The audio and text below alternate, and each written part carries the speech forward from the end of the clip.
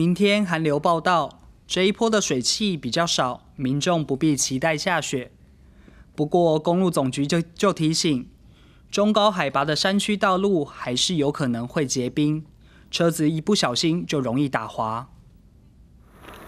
虽然是大晴天，但开车都得小心翼翼，一不小心就会打滑。这是民众在合欢山拍到路面结冰的危险画面。小年夜开始，寒流报道又可能重现。这波寒流水汽少，不会带来降雪，但更危险的是看不见的路面结冰。路面上的结冰只要非常的薄的一层，它就会造成打滑的现象。它往往在低海拔的部分是发现没有结冰，但是它一过了。到比较高的高层的时候，它结冰的情形就会影响到车轮的摩擦力啊。公路总局表示，包括通往拉拉山的台七线北横公路、通往武林农场的台七甲宜兰支线，还有去合欢山的台十四甲线，都要小心路面结冰。小年夜到初二清晨夜晚，公路总局将视结冰状况管制道路，到时候没挂雪链的车辆一律禁止通行。那假如我们评估。晚上的时候，路面会有结冰的可能的时候，我们会在下午三点的时候，将要办理预警性封闭的道路做公告。包括武林农场、拉拉山的农场民宿，从小年夜一直到初二寒流期间，几乎都是定位客满的状态。公路总局建议民众开车去，最好要准备雪链，并随时查询路况。记者林正武、陈昌伟台北报道。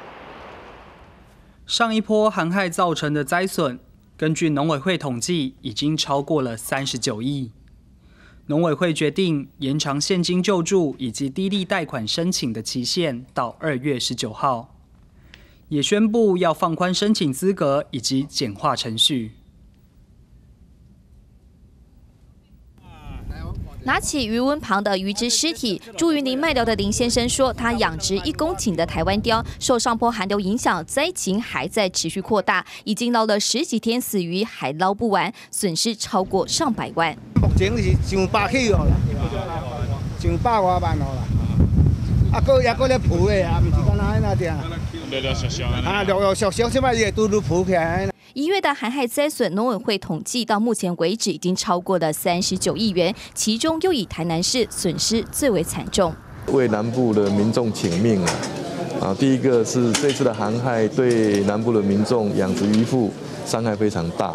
台南市长赖清德特别北上出席行政院会，为农渔民请命，希望中央能给予协助。而民进党团十多位立委也邀请农委会专案报告。农委会表示，已经放宽救助资格，只要受损程度超过百分之二十，就可以申报低利贷款。救助金发放资格也可以由地方政府弹性认定，同时也延长申报期限到二月十九号，以及简化程序。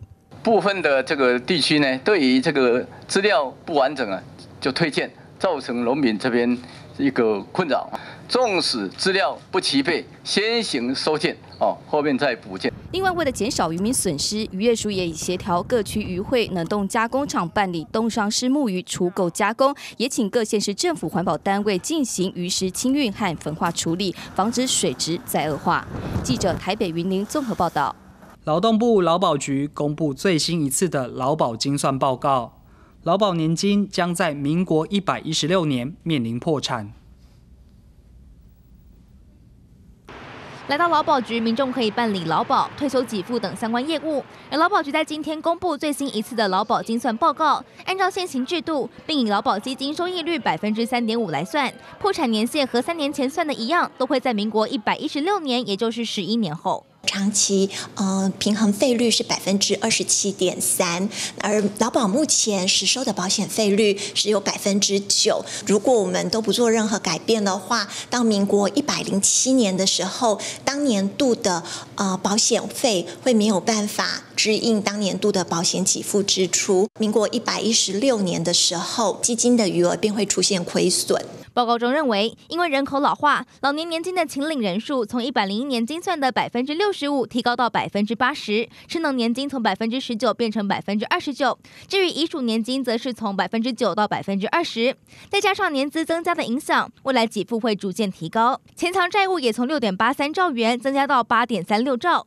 劳保局认为，要维持给付水准，费率就必须要调高，但劳团却不这么认为。目前的劳保大概是九趴，如果再加上这个劳退薪资有六趴。所以几乎就有这个十五趴了哈。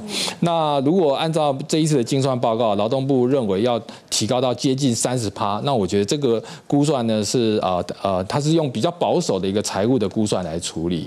劳团代表建议，各国对于法定的劳工退休保障提拨率一般都控制在百分之二十以下，或将平均投保的薪资采集时间拉长等等。政府应该加速推动年金改革，稳定财务状况。劳动部则回应，目前行政院已经裁示，年金改革方案将会留给新政府上任之后处理。记者曹仁鹏、高祖参报道。食药署公布全台市售化妆品稽查结果，总共有十七件产品不合格。其中有三款指甲油被验出含有禁用成分甲醛，包括知名进口品牌 OPI 指甲油，甲醛的浓度超标八十三倍。春节假期即将到来，不少女性会擦指甲油，让自己变得更漂亮一点。不过，食药署最近稽查全台市售指甲油产品，却发现这款从美国进口的 OPI 金色指甲油被验出禁用成分甲醛浓度高达六千两百二十一点五 ppm，比残留限量标准七十五 ppm 超标八十三倍。技术上无法避免，有时候就是会残留一些。微量的那个那个游离甲醛嘛，啊，可是，在最终产品我们有一个限量，就是不能超过七十五 ppm。我们是台湾唯我台湾区唯一总代理，所以这个商品的进口来源，我们并没有办法去确知，就是这个平行输入商它进口的这个商品的安全性。而除了 OPI 之外，还包括台湾生产制造的 Shears 金钻光疗璀璨完美显色指甲油，也被验出甲醛超标两倍。雪花指甲油编号八零五，则是被验出超标一点四倍。毒科医师提出警告，甲醛是世界卫生组织认定的一级致癌物，如果长期暴露或吸入，恐怕会引发呼吸道疾病，或是增加罹癌的风险。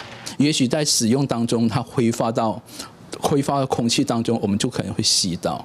诶，其实甲醛会致癌，很多国外的研究都来自空气中吸收了。食药署强调，所有不合格产品都已经要求业者回收下架，并依法处业者一年以下有期徒刑，或者是十五万元以下罚金。而医师也建议民众，如果发现指甲油有刺鼻味道，或者指甲有伤口，最好不要使用，以免花钱反而伤身。